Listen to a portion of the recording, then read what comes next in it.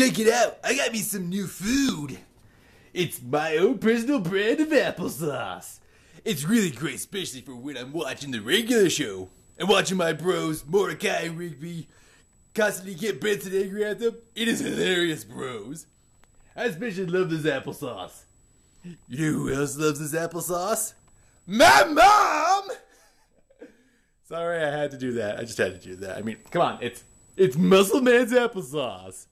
You know who else likes Muscle Man's applesauce? My mom! Oh god, that was awful.